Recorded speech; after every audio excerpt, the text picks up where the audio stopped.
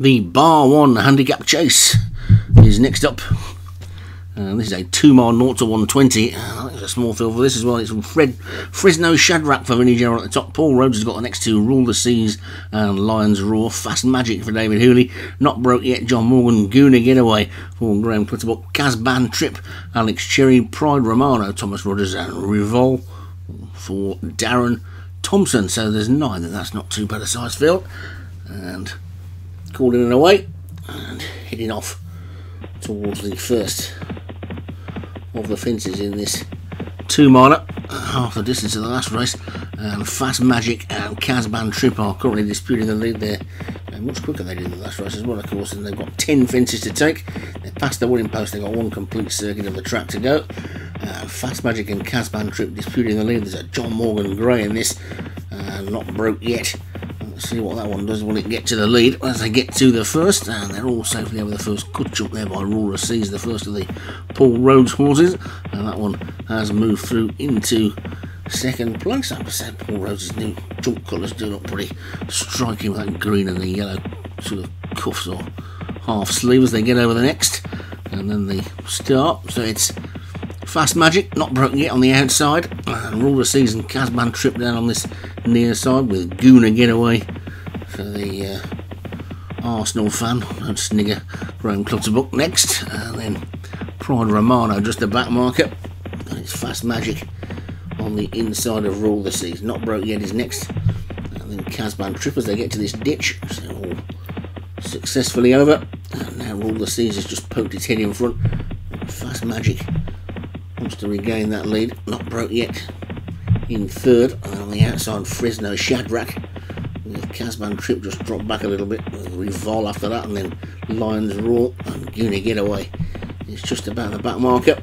They're all still going well within themselves. They're getting down towards the halfway point. That's the fifth fence, so that's the midway point in the jumping. And now they're at the midway point in the racing, and it's Fast Magic who's suddenly shot six or seven lengths clear of Revol who's moved through in a second. And on the inside, Ruler sees the grey, not broke yet, it's still there as they get over number six. And over that one, a bit of a mistake on the outside by Casban Trip, but it's Fast Magic. Lead down to about four now. At the seventh, and over that one they go. And Rule the Seas, Lions are all not broke yet, a closing. Gooner Getaway's coming with a run round the outside. And then a gap so the rest of them are headed by Revol. They've got just three more fences to take. And Fast Magic's lead is down to half a length as Gooner Getaway switches round the outside. Rule the Seas is there, not broke yet. It's not moved a muscle on that one yet, really. Then comes Lions right shortly between these. And they get over the third last and they're pulling away from the rest of them. Although Revol's trying to run on, it's Fast Magic still in the lead. Two to jump from Gooner Getaway in second. Then come the Rhodes pair on the outside of the John Morgan Grey as they come down to the final ditch. That's a second last. Great jump by Fast Magic. He's got away from it well. Lions Roar is trying to close. So is Gooner Getaway. Then not broke yet.